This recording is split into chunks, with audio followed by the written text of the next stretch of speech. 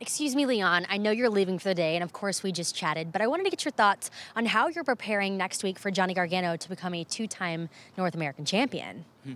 Well, McKenzie, if, if you want to talk about preparation, let's talk about tonight. Because tonight, I was competing in NXT. Tonight, I was proving why I belong in NXT against the likes of Timothy Thatcher. While Johnny Gargano was what? At home opening gifts? I mean, it's not even Christmas. But as far as preparation, I've been watching Johnny Gargano matches for a long time now. You know, I've stepped in the ring with him a couple of times. I know what it takes to beat him. I beat him twice. So you really should be asking Johnny Gargano how he's preparing for me. Because in a one on one match, he's never beaten me. Thank you. Thank you. Best of luck next week.